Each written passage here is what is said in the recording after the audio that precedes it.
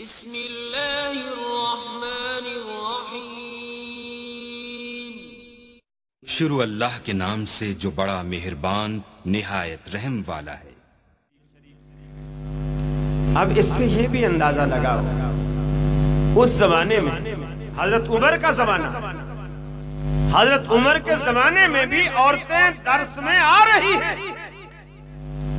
اور آج نام نہاد علماء نے خواتین پر مسجد کے دروازے بند کر دیے خواتین مارکیٹ جائیں، کالجز جائیں، یونیورسٹی میں جائیں، ٹنڈے، کدو، آلو، ٹماٹر سب خود خرید کے لائیں۔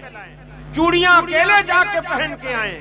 چوڑی والا ہاتھ دبا دبا کے، دبا دبا کے بارہ نمبر لانا۔ فلانی لانا، وہ ہاتھ دبا دبا کے پہنا رہا۔ اور اس کا دلہا بھی بغیرت بن کے ساتھ کھڑا ہوا۔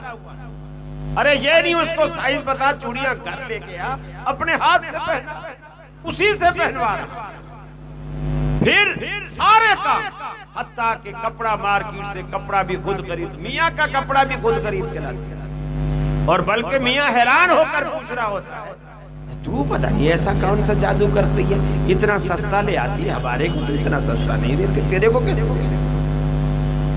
سارے کام عورت کرتی ہے۔ مسجد میں نہیں جا سکتی دلیل کیا ہے؟ مسجد کا ماحول خراب۔ زمانہ خراب۔ ماحول خراب ہے۔ اس کے دوسرے معنی کیا ہے مارکیٹ والے، چوڑی پہنانے والے، کپڑا بیچنے والے، سبزی بیچنے والے، گوشت بیچنے والے۔ سارے فرشتے بیٹھے ہیں۔ جتنے شہر کے بدماش ہیں، سارے مسجد میں اکٹھے مؤذن بھی، خطیب بھی، امام بھی، نمازی بھی۔ ماحول تو مسجد کا خراب ہے نا عورت وہاں نہیں جا سکتی۔